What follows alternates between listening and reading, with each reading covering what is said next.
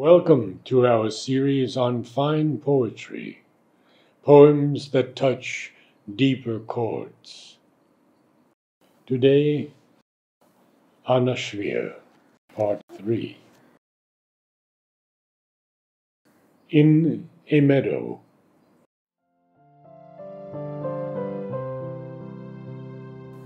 One white daisy and my two closed eyes. These shield us from the world.